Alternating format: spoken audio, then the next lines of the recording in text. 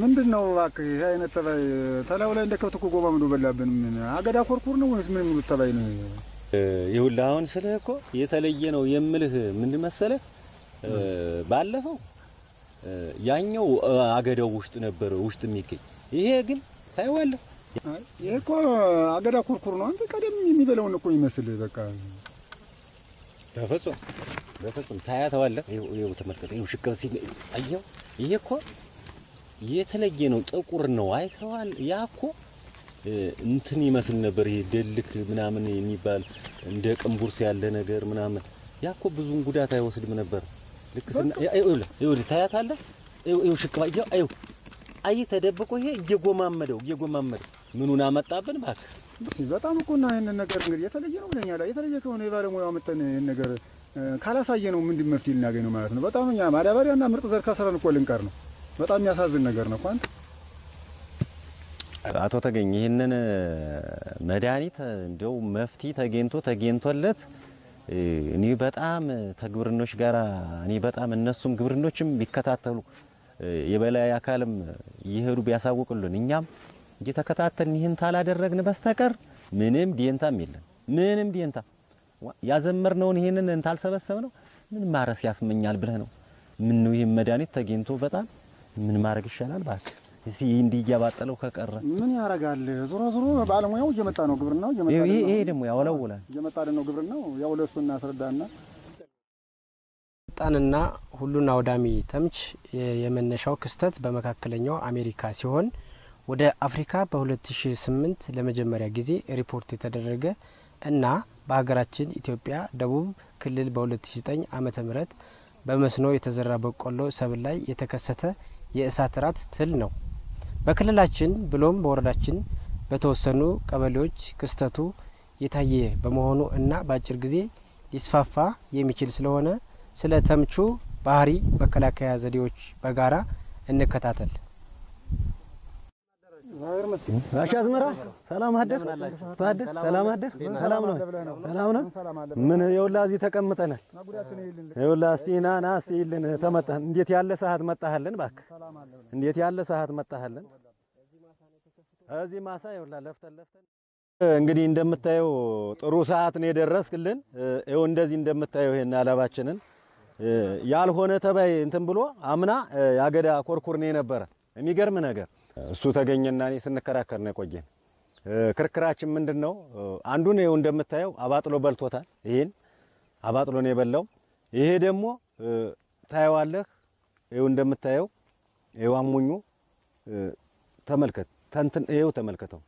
ጥቁር ነው የተለየ ነው እና የባለፈው ነው አይደለም ብለን ተሱ ጋር ስንከራከር ነው የቆየን እና ልዩነቱ ምንድን ነው የሚለውን ነው እኔ ይችን ብታስረዳንና ሙያውን ቀልጠፍ አድርገህ የበላይ አካል ብታሳውቅልን የሚል እሱና እኔ ብዙ ክርክር ነው እና ምን ይሻለዋል? እኔ ምናልባት አሁን ስንጣላበት የቆየን እኔ አገዳ ኮርኩር ነው ነው እሱ አይደለም ነው ከተው እስቲ እንዲያውም እኮ ቆንሷል። ሶስት አራቱ ነው አንድ ላይ ያለ አሁን የቀደሙ እኔ ታገር ጋር አገዳ ኮርኩር ብዬ የተከራከርኩት አቶ አወቅ አይደለም ነው ነበር እና ግን ልዩነቱ ምንድን ነው ይሄ በቃ ልዩነቱ እኔ ጋሽ አዝመራው የምጠይቅ ይህን ጥያቄ ነው። ምን አይነት ተባይ እንደመራብን አላውቅም። ይሄ የምታዩት አገዳ ቆርቁር ሳይሆን ፈጣንና ሁሉን አውዳሚ ተምች ነው። ባህሪያቱን ደግሞ በምናይበት ጊዜ ትሉን በምናየው ጊዜ እንደምታዩት ይቺ ትታያቸዋለች አይደለ? ጠቆር ጠቆር ያሉ እንትኖች አሉት መስመሮች። ወደ ቂጡ አካባቢ በምንመለከትበት ወቅት ደግሞ ጎላ ጎላ ያሉ አራት ነጥቦች አሉት እዚች አካባቢ። ጭንቅላቱንም በተመሳሳይ በምናይበት ወቅት ስታዩት የመንሽ ቅርጽ ወይንም የባላ ቅርጽ ነው ያለው። አሁን እዚህ ጋር እየተንቀሳቀሰ በደንብ አላሳየንም እንጂ ከጎንና ከጎን ደግሞ መስመሮች አሉት መስመሮች አሉት። ይሄኛው ነው ባህሪዎቹ። ተረድታችሁታል እኮ አሁን ይሄ ፀሐይ ስለነካው በጣም እየተንቀሳቀሰብን ነው። መስመሮቹ እንትን ይላሉ። ልዩነት በቃ ግልጽ ነው። በጣም ግልጽ ነው። ግልጽ ነው። ይኸው አሁን ራሱ ፀሐይ ስለነካውና ራሱን ለመደበቅ ነው እንትን እያለ ያለው እየተንቀሳቀሰ ያለው። ይደበቅ አዎ ሙሽሯ ውስጥ ገብቶ ደመና ውስጥ ለመቀመጥ ነው እንትን የሚለው። ባህሪዎቹ ባጭሩ እነዚሁ ናቸው። እሺ ልዩነቱን እንዳልከንም መሰለኝ በጣም ታገዳ ኮርኮሮ የተለየ ነገር እያየ ነው እንዳስረዳህን። ልዩነቱ ምንድን ናቸው? ቅንጭላቱ ላይ ጥቁረት ያለው በዚያ ላይ ቅርጽ ቅርጹ እና ጎንና ጎኑ መስመሮቹ አስረድተናል። ትክክል እንደ- እንደተረዳ ነው ልዩነት አግኝተንበታል። ግን እንደ ጸባው አማርኛ ደግሞ የሚያጠቋች ሰብል ምን ምን ናቸው? ይሄ የምታዩት ፈጣን ሁሉን አውዳሚ ተምች የሚመገባቸው የሰብል አይነቶች በብዛት የአገዳ ሰብሎችን የ- የሚመገብ ሲሆን ለምሳሌ በቆሎ፣ ማሽላ፣ ጤፍ፣ ገብስ፣ ስንዴ የተለያዩ የሳር ዝርያዎችን በብዛት የሚመገብ ተምች ነው። አንተ አሁን እንዳስረዳህን የጉዳት መጠኑ ምን ያህል ነው በሰብሎች ላይ የሚጎዳው? ይህ ተባይ በከፍተኛ ደረጃ ከተከሰተ የተዘራውን ሰብል ግማሹን በሙሉ የሚያወድም ይሆናል። ይሄም ሲባል አንድ የእሳት ራት የምትጥለው የእንቁላል መጠን ከመቶ እስከ ሁለት መቶ የሚሆን እንቁላሎችን አንዴ ስለምትጥል እነዛ እንቁላሎች አንድ ላይ በሚፈለፈሉበት ወቅት የሚመገቡት የምግብ ፍላጎት በጣም እየጨመረ ሲሄድ የምርት ቅነሳውም በዚያን ያክል ምርታችን የግማሹን ያክል ይቀንሳል። ያለ ጉድ ነው እባክህ። እንዳስረዳህን ከሆነ እንግዲህ ሁሉን ያዋድማል አልከን። ሁሉን ካዋደመ ይሄ ፈጣን ሁሉን አውዳሚ ከምች እንዴት አድርገን ነው የምንከላከለው? እሺ ለመከላከል በመጀመሪያ ደረጃ ሰብላችንን ሁሉ- ሁሉም አርሶ አደሮች አሰሳ ማካሄድ መቻል አለበት። አሰሳውንም ደግሞ በምናካሄድበት ወቅት እያንዳንዱ የበቆሎ ሙሽራ እየፈተሽንና በደንብ እያየን እያሰስ መኖርና አለመኖሩን መፈተሽ መቻል አለብን። ይሄም ሲባል ለበቆሎ ማሳ ብቻ ሳይሆን ለሁሉም የብዕርና የጥራጥሬ ሰብሎች፣ የአገዳ ሰብሎች በደንብ ማሳችንን ማሰስ መቻል አለብን። ማሳችንን በየጊዜው በምናሰስበት ወቅት ማንኛውንም ለየት ያለ ባህሪ በምንመያይበት ሰዓት ናሙናውን ወይንም ናሙናውን በመያዝ ለግብርና ሙያተኞች ወዲያውኑ ማሳወቅ ይኖርብናል ማለት ነው። እሺ ታሁን ቀደም አሰሳውን እናረጋለን፣ ግን አሁን በተፈጠረው ተባይ ምንድን ነው መከላከያው? ፈጣንና ሁሉን አውዳሚ ተምች ለመከላከል በመጀመሪያ ደረጃ ሁለት አይነት የመከላከያ መንገዶች አሉት። አንደኛውን በምናይበት ጊዜ ባህላዊ መከላከያ ዘዴ ነው። ሁለተኛው ደግሞ የኬሚካል መከላከል ነው። ባህላዊ መከላከል የምንላቸው አንደኛ ፈጥኖ ደራሽ የሆኑ የዝርያዎችን በመምረጥ መዝራት ነው። ሁለተኛ በግጦሽ መሬት ላይ ተባዩ የተከሰተ ከሆነ ከብቶችን በመንዳት ተባዩ እንዲሞትና ማድረግ። ሶስተኛ ደረጃ ደግሞ ተባዩ ግጦሽ መሬት ላይ ከተከሰተ ደግሞ ጨፈቃ አዘጋጅተን ወይንም ጭራሮ ድንጋይ በመጫን በጭራሮው ላይ በመጎተት ትሉ እንዲሞት ማድረግ ነው። አራተኛ የባህላዊ መከላከያ ዘዴ ግጦሽ ላይ ተከስቶ ወደ ማሳ እንዳይዛመትብን ወደ አርሶ አደሮች ማሳ እንዳይዛመትብን ቦይ በመቆፈር ተባዩ ወይንም ትሉ ወደ ማሳው ሂዶ ለመግባት ቦይ ውስጥ ሲገባ ደግሞ ያንን ትሉን በመግደል ወይንም ገለባ ነስንሶ ማቃጠልና መግደል ይቻላል። ሌላኛው ደግሞ ባህላዊ መከላከያ የሚባለው በማሳ ላይ ተከስቶ ከሆነ ደግሞ በእጅ እየለቀሙ በውሃ በተሞላ ባሊ እየለቀሙ ባሊ ውስጥ እየከተቱ መግደል ማለት ነው። ስለዚህ ሁላችንም እየዞርን እያንዳንዱ የበቆሎ ሙሽራ በማየት ተባዩን ወይንም ትሉን እየለቀም መግደል ይጠበቅብናል ማለት ነው። አሁን እዚች ጋር ስናይ እያንዳንዱ የበቆሎ ሙሽራ በምናይበት ወቅት አሁን እያንዳንዱ ሙሽራውን በመክፈት እናያለን። አሁን እዚች ጋር እያንዳንዱ ወደ ታች ትሉ ሰርስሮ ስለሚገባ እታች ድረስ በደንብ ቅጠሉን ከፍተን በማየት ትሉን ማየትና መለየት መቻል አለብን። አሁን እዚች ጋር ትታያችኋለች ትሏ ይችትና፣ ስለዚህ ይችን ትል በዚህ በያዝነው ጆግ ውሃም ስላለው ውሃው ውስጥ ለቅመን እንከታታለን ማለት ነው። አያቸዋት አይደለ? ይሄኛውን አሁን አንስተን ወደ ውሃው ውስጥ እንከተዋለን ማለት ነው። ውሃው ውስጥ የሚጨመርበት ዋናው ምክንያት ምንድን ነው? እቃው ባዶ ከሆነ ትሉ ወደ ላይ እንዳይወጣ ይጠቅመናል ማለት ነው። ሰብሰብ አድርገን ከተገኘበት ማሳ አውጥተን ትሎችን በመሰብሰብ መግደል መቻል አለብን ማለት ነው። እሺ አሁን እኔ ትሉን አግኝቸዋለሁኝ። ስለዚህ እናንተ ደግሞ ተባዩን አሰስ አድርጋችሁ እስኪ እየለቀማችሁ ተባዩን ወደ ውሃ ስር ስትጨምሩ አሳዩኝ። ውሃውን ልቀበላችሁና እናንተ ትሉን አፈላልጉና አግኙት እስኪ እንይ።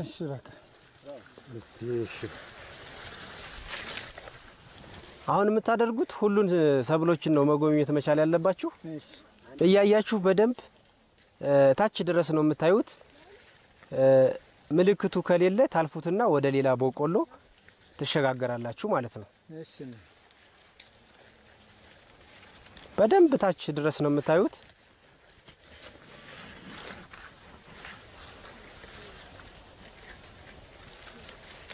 የትሉ ባህሪ ወደ ታች ስለሚደበቅ ታች ድረስ ሰርስራችሁ እዩት ቅጠሉን። ይኸው እናገኘው ይህ አይደል ምን okay ፋይቶት የለን አገኘው ኧረ ምን አንተ ምን ኑ ለንደን ነው መጸዳጃው ደግሞ ይሄን አዎ በብዛት ስለሚመገብ የተመገበውን ምግብ እዛው ሰብሉ ላይ ቆሻሻውን እያራገፈ ነው የሚሄደው። ስለዚህ እሷን ተባይ ያዘና ወደ ውሃው ውስጥ ጨምራት። አታይም ይኸው ለዘግዝቆ ሲ ምኑ ያ። አታየው ምን ምን አንተ ምን ፋይቶት የለ በጣም ጥሩ። ስለዚህ ይሄኛው ዋነኛ መከላከያ ዘዴያችን ነው።? አንተ በብዛት ነው ይዞት ደግሞ ምን ነገር አለ? ታች ድረስ ነው የሚያጠቃው። ቆንሶበት ይሄ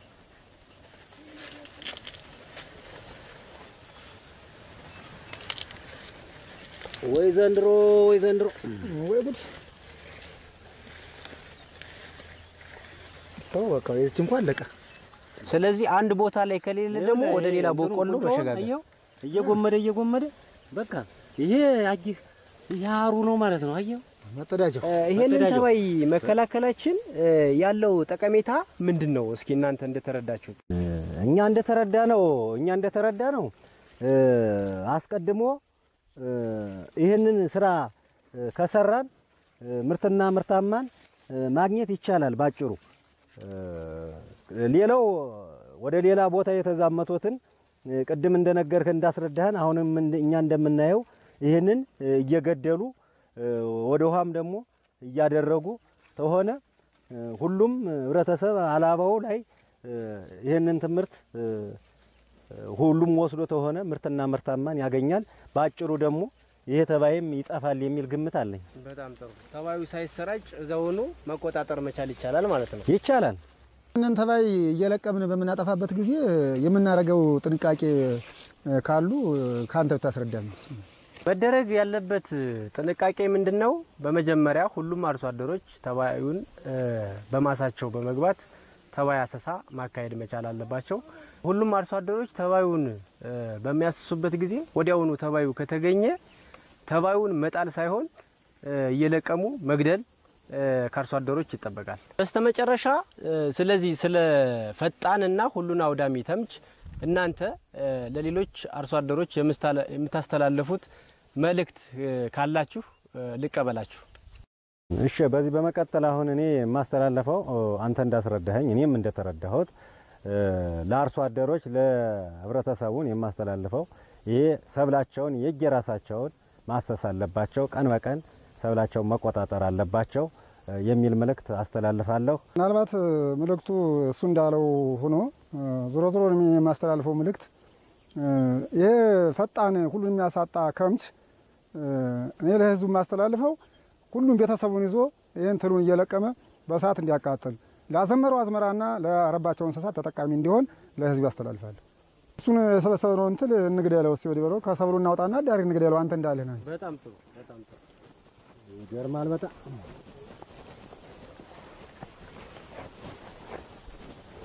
እዚህ ላይ ታረግ እሺ ይኸው ከማሳወጠናል እንግዲህ ይኸው አንተ እንዳለህ የበጠበጠ አዘግቶ እንዳይቀር የደፋን ነው። ድፋው እስቲ እስቲ ድፋው የታባረር እሱን አይተህ ወደ ሀዲ ወደ ሰርዶ እንዳይዛመት ነው። ስለዚህ አሁን እንደዚህ አባቱ ከሆነ ሄደ። በእግሩ እ? ደግደጉት። እንደ ቅድቀው አይደል አድጠው ምን አባ ብናድጠው ታት አባቱ ይሄ ይኸውልህ አየኸው በደንብ ደግድጉት እንዲሞትላችሁ። እሺ አይ ውሃው ስለበዛ ትንሽ ጨፈለቅ አለ እዚያው እናድጠው በጣም አይታ የለውም በቃ ወድሟል። በልና እንግዲህ ቀን በቀን እየመጣህ ተቆጣጠረን። እናመሰግንሃለን። ተቆጣጠረን። ይህንንም የበላይ አካልም ሆነ እባክህ በጣም እርዳን። እናመሰግናለን። እኛም እስቲ ይኸው አሁን እየሰራን ነው እያልን ወደ ለቀማችን እንግባ። በሰላም ያገናኘን። እኔም አመሰግናለሁ አመሰግናለሁ። እርዳና ብዬ አትለየን አትለየን፣ ተከታተለን። እሺ እሺ እሺ፣ እናመሰግናለን።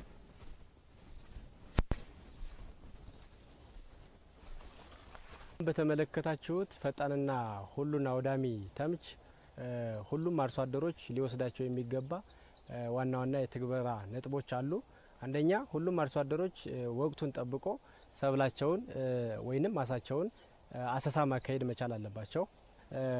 ተባዩ ተከስቶ ከሆነ የተከሰተውን ተባይ ለሚገኙ ለግብርና ባለሙያዎች ወዲያውኑ ማሳወቅና ሪፖርት ማድረግ መቻል አለባቸው። ሁለተኛ ደረጃ ደግሞ ሁሉም አርሶ አደሮች መገንዘብ ወይም መረዳት ያለባቸው ስለ ተባዩ ወይንም ስለ ፈጣንና ሁሉን አውዳሚ ተምች ልዩ ልዩ ባህሪያት አሉት። እነሱም በደንብ መረዳት መቻል አለበት።